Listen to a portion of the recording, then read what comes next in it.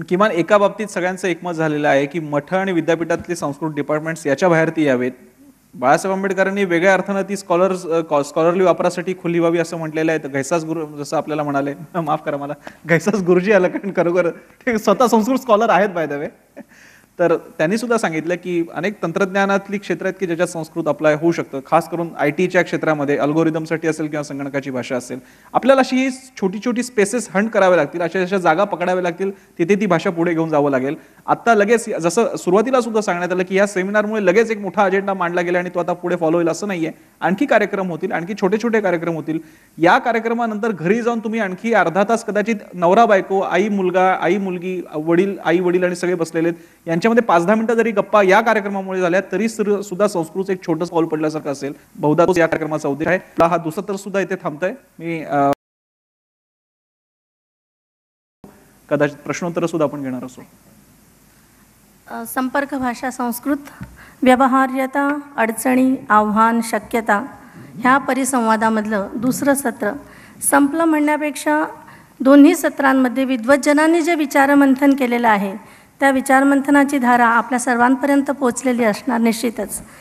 आपल्या विद्वत्ता प्रचुर मनोगतामध्ये वैशालीताईंनी आत्ताच सांगितलं होतं तोच एक छोटासा मुद्दा की खरोखरच का की तो पूर्वीचा यात्रेकरू भारताच्या एका टोकाहून दुसऱ्या टोकाकडे जाताना एवढ्या बावीस तेवीस भाषा शिकत असेल का?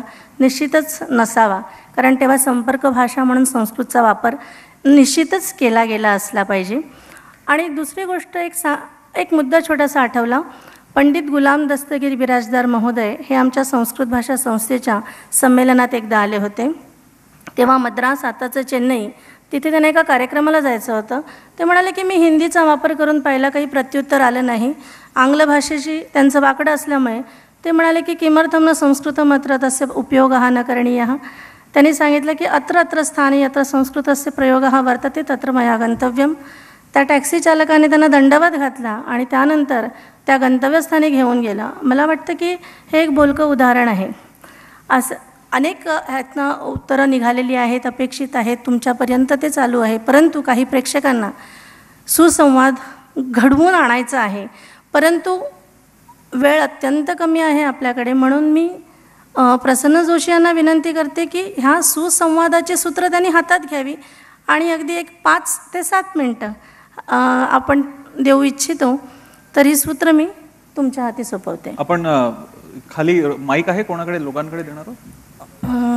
किंवा कदाचित ऐकायला येईल आपल्याला. हां व्यवस्था करावी लागेल काहीतरी. किंवा कोणीतरी एक व्हॉलेंटियर आमच्यापैकी कोणाचं एक माईक घेऊन खाली गेला तरी चालेल. इकडे एक माईक पुरवण्यासारखं आहे. हे घ्या. हा खाली जाऊन ज्यांना कोणाला बोलायचं आहे त्यांना. फक्त एक विनंती आहे सगळ्यांना कदाचित जाण्याची सुद्धा वेळ असेल त्यामुळे थोडक्यात प्रश्न विचारा आणि कुणाला विचारायचे ते सांगा म्हणजे संबंधित व्यक्तीच फक्त उत्तर देईल. धन्यवाद. प्रश्नच विचारा, हो. आत्तापर्यंत कार्यक्रमात भरपूर माहिती मिळालेली आहे. मी एक मिनिटं घेणार आहे. नाव रवींद्र वडके. काखेत कळसा आणि गावात वळसा असं या कामाचं जे मूल्यांकन आहे ते मी करीन. कारण इथे बरेचसे शब्द आहेत इंग्रजीमध्ये असतील अन्य भाषेतले असतील पण त्याचा संस्कृत बेस जो आहे तो आपल्याला माहिती नाही आहे O N G C oil and त्याच्यामध्ये अँड आपल्याला दिसत नाही आहे नॅचरल गॅस कंपनी ह्याच्यामध्ये दोन संस्कृत शब्द आहेत. अँड मराठी आणि आणखी आणि हिंदीचं और हे ज्यांना माहिती आहे त्यांना त्या अँड हा ह्या भाषेशी संबंधित आहे नातलं काय हे समजेल.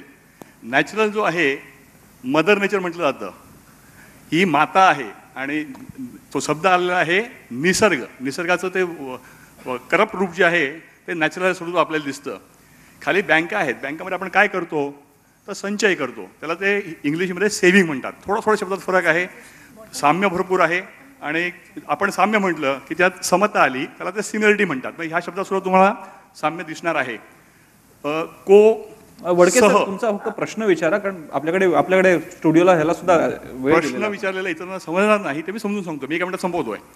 सह को कोऑपरेटिव्ह कॉर्पोरेशन ह्याच्यामध्ये सह जो आहे अनेक लोक जेव्हा एकत्र मिळून काम करतात तर जगात सगळीकडे तो को होतो. त्याच्यामध्ये बेस जो आहे तो सहच आहे. पुढचा शब्द आहे सत्ता. हे स्टेट आहे. तर शब्द मूळचा तोच आहे.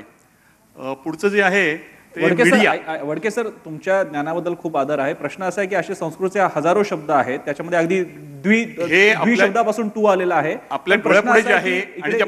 विचारायचे आहेत हो, आणि हो. आपल्याकडे वेळ खूप मर्यादित आहे. इतरांच्या वेळेचं आपण भान राखूयात आणि इतरांना पण संधी देऊयात. तुमचा प्रश्न मला एक विचारा. प्रश्न विचारायचा आहे सगळ्यांना की नेम आणि नाम हे साधर्म्य आहे का? हे कुणाला विचारताय तुम्ही प्रश्न? शास्त्री जी उनका उनका सवाल ये था कि नेम जो इंग्लिश में कहा जाता है नेम और नाम हाँ। इनमें साधर्म्य है क्या? नहीं बिल्कुल ठीक है। नेम जो ओरिजिनल मूल शब्द है संस्कृत का वो नामन शब्द है। नाम नामनी नामानी तो उसी से समझ मैं समझ रहा हूँ नेम शब्द निकला है। जैसे मातृ से मदर निकला है पितृ से फादर निकला है ब्रदर से भ्रातृ से ब्रदर निकला है ऐसे ही हो सकता है वो अ, सामंजस्य के कारण दोनों का उच्चारण एक जैसे आ रहा नाम नेम वो बिल्कुल संबंध है उसका। पुढचा आणखी एखादा प्रश्न? आणखी वेगळा कोणाला तरी प्रश्न? नाही बोला.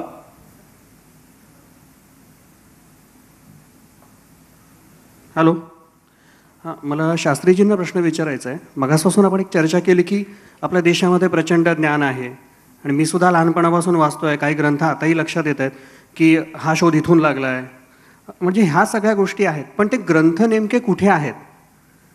ते कसं कळणार? म्हणजे आपल्या भारत सरकारकडे अशी काही माहिती आहे का? की ह्या सगळे जे काही हजारो लाखो ग्रंथ म्हणतोय ते ग्रंथांची त्यांनी कुठे साठवणूक केली आहे का? की आणि याचा उपयोग किंवा याची माहिती कुठे दिलेली आहे? की जेणेकरून ह्या तरुणांना माहिती होईल? एक एक जगह इसकी वो सूचना आपको नहीं मिलेगी। वो अलग अलग मैन्यूस्क्रिप्ट्स हैं जैसे राष्ट्रीय संस्कृत संस्थान का मैंने नाम लिया, भारत सरकार की वो संस्था है काफ़ी काम हो रहा है वहाँ पर। इसी तरह से मद्रास यूनिवर्सिटी है, वहाँ पर मैनुस्क्रिप्ट संस्कृत के बहुत रखे हुए हैं, पुणे यूनिवर्सिटी में रखे हुए हैं। तो वो एक जगह ऐसा कोई कलेक्शन नहीं है जहाँ आपको सारी की सारी सूचना मिल सके। वो बिल्कुल अलग अलग बिखरी हुई है अलग अलग यूनिवर्सिटीज़ में हैं अलग अलग कॉलेजेस में हैं। और अभी दो चार दिन पहले किसी ने मुझे कहा कि जितनी मैन्यूस्क्रिप्ट अभी संस्कृत की उतनी अभी किसी भाषा की मैन्यूस्क्रिप्ट नहीं है। पता नहीं कितना पचास लाख मैन्यूस्क्रिप्ट ऐसी हैं पूरी लाइब्रेरीज में यदि उनका कलेक्शन किया जाए तो वो सबसे बड़ी हो सकती है वो। लेकिन अभी वो प्रकाश में नहीं आ पा रही है उसको सरकार की तरफ़ से भी इतना सहयोग नहीं मिल रहा है हो सकता आगे इस सरकारी अनास्था या संदर्भात आहे। म्हणजे संस्कृतचा एखाद्याने अभ्यास जरी आता करायचा ठरवलं आणि पुढे त्या क्षेत्रात पुढे जायचं ठरवलं पण पुढे जाऊन मी कशाचा अभ्यास करणार आणि कशात संशोधन करणार या संदर्भात पूर्णपणे अंधकार आहे सरकारकडून. म्हणजे आता फक्त संस्कृतचा जो आपण म्हणतोय की धर्मशास्त्राच्या आधारावरचा अभ्यास आहे तो तुमच्याकडून केला जातोय. पण जे काही तुमचं सायन्स आहे टेक्नॉलॉजी त्यामध्ये आहे त्याचं संवर्धन करण्यात आपलं भारत सरकार पूर्णपणे इसके. लिए भारत सरकार की अभी मुझे नहीं लग रहा ऐसी कोई योजना है। वो परंपरागत थ्योरी से ही वैसे ही वो जो डिग्रियां मिल रही वही है। लेकिन इसको सरकार को इस दिशा में प्रयत्न करना चाहिए कि संस्कृत का और साइंस का जो है वो संबंध होना चाहिए। ऐसी अभी कोई यूनिवर्सिटी या ऐसा कोई कॉलेज मेरी दृष्टि में नहीं आया नमस्कार, माझा मुलगा आता आठवीला आहे. त्यांना तीन वर्षापासून तो संस्कृत शिकतोय. सौ उज्ज्वलाताई थत्त्यांकडे शिकतोय, ज्यांची चाळीस वर्ष विनामूल्य संस्कृतची शाळा चालवतात त्या. तीन वर, तीन वर्षापासून शिकतोय. आता तो आठवीला, आवड म्हणून तो शिकतोय. पण असे किती मुलं आहेत ज्यांना आवड आहे पण त्यांना मार्गदर्शन व्यवस्थित मिळत नाही तर ह्याच्यासाठी वर्षाताईंना विचारते मी काय मार्गदर्शन मिळेल आणि ह्या संस्थेला पण विचारते की असं कोणतं तरी एखादं जसे आता करिअर मार्गदर्शन असतात तशा शाळा सुरू व्हायच्या अशी होण्याआधी अशी काही मार्गदर्शन शिबिरं घ्याल तर मुलांना आणखी गायडन्स मिळेल त्याच्यातून. या आपल्या संवर्धनतर्फे कोणी उत्तर देईल का? कारण ते जास्त उत्तर चांगलं मिळू शकेल. त्या बाबतीत मी सांगतो. तुम्ही जो काही प्रश्न होता की कुठे मार्गदर्शन मिळेल असं काही एका ठिकाणी मिळाने अशा अनेक संस्था कार्यरत आहेत. आता एक म्हणजे संस्कृत भाषा संस्था जिथे आम्ही एक भाषा साधना हा एक वर्ग घेतो. मग ज्यांना अगदी काही प्राथमिक ज्ञान नाही आहे पूर्वज्ञानाची काही अपेक्षा नसते तिथे परंतु अगदी आठवी ते बारावीपर्यंत तुम्ही संस्कृत अध्यापन करू शकाल. इथपर्यंत शिकवलं जातं आणि त्यानंतर साहित्याचा आस्वाद घेण्यासाठी जे आग्रही असतात त्यांच्यासाठी आम्ही संस्कृत माध्यमातून संस्कृत साहित्य साधना म्हणून एक वर्ग चालवतो. मुंबई विद्यापीठामध्ये आम्ही सर्टिफिकेट कोर्स घेतो. Certificate course diploma course advance diploma manuscriptology आहे मायथॉलॉजी आहे आता नवीन एक मिस्टिसिझम नावाचा कोर्स म्हणजे सगळे संस्कृतशी संबंधित आहेत. आता तुम्ही जो प्रश्न विचारला होता की त्या प्रश्नाशी संबंधित कुठे मिळतील अशी हस्तलिखित एका ठिकाणी नाही त्यांनी तुम्हाला बऱ्याचशा सांगितलं की अनेक ठिकाणी आहेत. परंतु ही सगळी पुस्तकं आता प्रिंटिंग स्वरूपामध्ये तुम्हाला कुठेही प्राप्त होऊ शकतात. आणि आमचं मुंबई युनिव्हर्सिटीचं जे मोठं ग्रंथालय आहे संस्कृत भवनाचं ते तर परिपूर्ण आहे केव्हा येऊ शकता तुम्ही भेट द्यायला तिथे. अजून आणखीन तुम्हाला काही शेवटचे दोन प्रश्न फक्त घेऊयात हां शेवटचे दोन प्रश्न कारण मग राष्ट्रगीताने समारोप करायचा आहे. नमस्कार मी सुरेखा जोशी विचारते की आय आय टीमध्ये जे संस्कृत शिकवतात आणि विविध विषयांवरती त्यांच्या हाताखाली बरेच जण पी एच डी करतायत संस्कृत आणि इतर विज्ञान शाखांबद्दल. तर त्यांनी एक खंत व्यक्त केली की बरी मॅन्युस्क्रिप्ट चायनामध्ये आहेत की ते भारताला उपलब्ध करून देत नाहीत. नेदरलँडच्या स्कॉलर्सच्या थ्रू आपल्याला ती मिळवायला लागतात. तर नुसतं इंग्लिश नाही तर ह्या चायनीज भाषा शिकून त्यांच्याकडून भारतात काही प्रयत्न करून या विज्ञानाच्या शाखेतील मॅन्युस्क्रिप्ट्सबद्दल अभ्यास करू शकेल का? घैसास सरांना विचारायचं आहे कोणाला? घैसास सर. मॅन्युस्क्रिप्टबद्दल विचारताय ज्या परदेशांमध्ये खास करून चायनामध्ये. मला वाटतं हे पूर्णपणे शक्य कारण टेक्नॉलॉजीचा एकदा आजचं ग्रंथांचं डिजिटायझेशन आता चालू आहे जगामध्ये.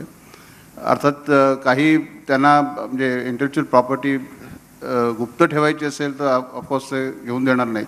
पण निदान आता ह्याच्या पुढे तरी आपल्या इथून कोणतेही ग्रंथ बाहेर जाणार नाहीत ना याची आपण पहिली काळजी घ्यायला पाहिजे. म्हणजे सरकारपासून वेगवेगळ्या संस्थांपासून. आणि जशी आपण तलवारी आणि कोयनूर कोहिनूर हिरे आणायचा प्रयत्न करतो तसे हे ग्रंथसंपदा पण आणायचा प्रयत्न केला तर मला वाटतं जास्त फायदा होतो आणि सर असं एक विनंती करायची आहे की आता जी तरुण पिढी आहे त्यांना खूप संशोधन करायचं आहे. तर त्यांना प्रेरणा देऊन वेगवेगळ्या विद्यापीठांना प्रेरणा देऊन तुम्ही त्यांना त्यांच्या शाखेतल्या त्यांच्या विज्ञान शाखेतल्या संस्कृत ग्रंथांचा अभ्यास करून द्यायला कोणीतरी शिक्षक उपलब्ध करून द्या की ज्यामुळे ते पुढे जाऊन काहीतरी त्याच्यावर संशोधन करू शकશે सूचना खरंच चांगली आहे. मलाही मनापासून तसंच वाटतं. परंतु मी मगाशी म्हटलं तसं की संस्कृत आपलं साहित्य आणि कालिदास इथपर्यंतच राहिलं आहे त्याच्या पुढे गेलेलं नाही आहे पण मला वाटतं आता जगालाही त्याची महती किंवा त्याचे गुण कळायला लागले आहेत त्यामुळे तिथे संशोधन खूप प्रमाणात होत आहे. आणि संशोधन कोणतेही करायला ना म्हणजे हा वेगळा विषय आणखीन पण देशात सुबत्ता असणं जरुरी आहे कारण त्या प्रत्येक आर एन डी प्रोजेक्टला फंडिंग कोण करणार शेवटी हा प्रश्न असतो. बरोबर आहे. बरोबर? ज्या देशात सुबत्ता आहे तिकडे करून घेण्यात काही हरकत नाही आहे तशी. दुसरं असं पण कारण आपल्याकडे वेळ फार कमी आहे. नमस्कार मी वृषाली भिडे. मी आठवी ते बारावी अध्यापन वर्ग चालवते संस्कृत भाषेचे. तर अडचण या संदर्भामध्ये अशी जी अडचण म्हणजे माझ्याकडे बरेचसे विद्यार्थी येतात तर शाळांमध्ये हे संस्कृत ही ऐच्छिक भाषा म्हणून ठेवलेली आहे. पण ज्या विद्यार्थ्यांना किंवा पालकांना त्यांच्या विद्यार्थ्यांना मुलांना संस्कृत भाषा देण्याची इच्छा असते त्यांनाही शाळेकडनं म्हणजे शाळेच्या प्राध्यापक वर्गांकडनं आडकाठी केली जाते की हा विषय तुम्ही घेऊ शकत नाही. आमच्याकडे पुरेसे शिक्षक वर्ग नाही पूर्ण असं ते सांगतात. आणि त्याच्यामध्ये हिंदी अर्ध आणि संस्कृत अर्ध किंवा पूर्ण संस्कृत ह्याच्याशी त्या हुशारी निगडीत केली जाते. म्हणजे किती तो मुलगा मुलाला किती पर्सेंटेज आहे त्याच्यावर त्याचं संस्कृत शंभर मार्काचं घ्यायचं का अर्ध संस्कृत घ्यायचं? तर ही मुलाची जरी इच्छा असली तरी ती पूर्ण केली जात नाही. ही खंत आहे. त्याच्याचबरोबर संस संस्कृतचे जे काही म्हणा किंवा डिक्शनरी ही शाळांच्या लायब्ररीमध्ये अजिबात उपलब्ध नसते बऱ्याच वेळेला. असाही एक हे आहे. म्हणजे अडचणींच्या स्वरूपात मी हे मांडलं. माझा प्रश्न नव्हता. फक्त अडचण काय आहे ती सतत मला जाणवत असते. धन्यवाद. शेवटचा प्रश्न? मागे मागे कोणाला असेल तिकडे? आपण हा ते ते जे गृहस्थ आहे त्यांना. त्यांना माईक द्या. हा शेवटचा प्रश्न असेल. प्रश्न मी असं म्हणतो इथे जे सगळे जे जमले होते सगळ्यांनी हे म्हटलं की संस्कृती व्यावहारिक भाषा होणार नाही किंवा त्याच्या व्यवहारात काही डायरेक्ट बेनिफिट नाही. माझं इथे फक्त एका मिनिटात माझं मत व्यक्त करतोय. माझं स्वतःचं देखील. माझं मत हे आहे आणि माझ्याबद्दल ते प्रूव्ह झालेलं आहे की संस्कृत शिकल्याने फिजिक्स आणि मॅथ्समधले मार्क वाढतात. पहिली गोष्ट. दुसरी गोष्ट एक्झिक्युटिव्ह समरी जी म्हणतात जी करावी लागते कुठल्याही मोठ्या प्रोजेक्टसाठी संस्कृत जो शिकतो निरुक्त शिकतो एस्पेशली तो उत्कृष्ट प्रकारे एक्झिक्युटिव्ह समरी तयार करू शकतो एक पेजची एक वाक्याची किंवा एक पॅराग्राफची हे असे डायरेक्ट उपयोग आहेत. असे डायरेक्ट कमीत कमी वीस ते पंचवीस संस्कृतचे डायरेक्ट उपयोग आहेत ते आम्ही वापरतो ज्या प्रोग्राममध्ये मी वापरतो. आणि ते जर वापरायला लागलो तर संस्कृत शिकण्यासाठी ताकद तर येतेच पण संस्कृत शिकल्याने डायरेक्ट व्यवहारात फायदा मिळतो म्हणजे महिन्याला पैसे जास्त मिळतात. संवर्धन प्रतिष्ठानतर्फे सत्कार करण्याचं ठरवलेलं आहे. तरी मी श्रीयुत प्रकाश आंबेडकर यांना विनंती करते की त्यांनी त्यांचा सत्कार करावा.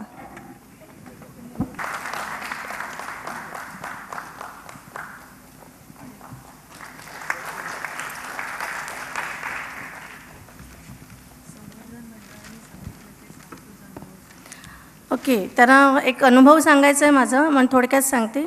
की आता मगासपासून चर्चा चालू होती की हे काहीतरी एक फक्त एक जातीपुरती वा वर्णविषयापर्यंत असलेली भाषा आहे. म्हणून मला तसं वाटत नाही. जर वर्णविशेष जर म्हणायचं असेल तर मग मी सोमवंश क्षत्रिय आहे असं जर सांगायचं झालं तर. आणि माझं अगोदरचं शिक्षण आहे मी एम एस सी इलेक्ट्रॉनिक्स केलेलं आहे अगोदर. संस्कृतशी काडी मात्र संबंध नव्हता. परंतु शाळा पण कॉन्व्हेंट स्कूल असल्यामुळे तिथे संस्कृत असणं शक्य नव्हतं. साधारणतः त्र्याण्णवमध्ये जेव्हा आमच्या संस्थेची जाहिरात आली संस्कृत भाषा संस्थेची आणि त्यात बी एड केलेल्यांसाठी एक छोटासा कोर्स आहे म्हणून सांगितला. माझ्या एम एस सी एम एडला कुठेही न विचारता संस्कृतचं एक छोटंसं माझ्याकडे सर्टिफिकेट होतं आणि त्या सर्टिफिकेटच्या जोरावरती मी शाळेमध्ये संस्कृत गणित आणि विज्ञान शिकवणारी तेव्हा पहिली शिक्षिका होते. परंतु हळूहळू अशी प्रगती होत गेली की आमच्या संस्थेमध्ये म्हणजे खरं तर मला सुरेखा जोशींनी स्वतः संस्कृत बोलायला शिकवलं परंतु ते करत करत आज वेदांतामध्ये मी संस्कृतमध्ये पी एच डी केली तर मला अभिमान वाटतो की हा काही वर्ण विशेष नाही आहे तर you love the language language will love you and language chooses the person आणि मला वाटतं की after having studied the Sanskrit your tongue turns in such a way that you can master any language in the world. हा माझा स्वतःचा अनुभव आहे. एवढं फक्त मला माझं मनोगत व्यक्त करायचं होतं. आणि आता आपण कार्यक्रम इथे संपत आहोत. तर राष्ट्रगीतासाठी सर्वांनी उभं राहावं ही नम्र विनंती. जनगण मन अधिनायक जय हे भारत भाग्य विधाता. पंजाब सिंध गुजरात मराठा द्राविड उत्कल वंग विंध्य हिमाचल यमुना गंगा उच्छल जलधि तरंग तव शुभ नामे जागे तव शुभ आशिष मागे गाहे तव जय गाथा जनगण मंगलदायक जय हे भारत भाग्य विधाता। जय हे जय हे जय हे जय जय जय जय हे। जय।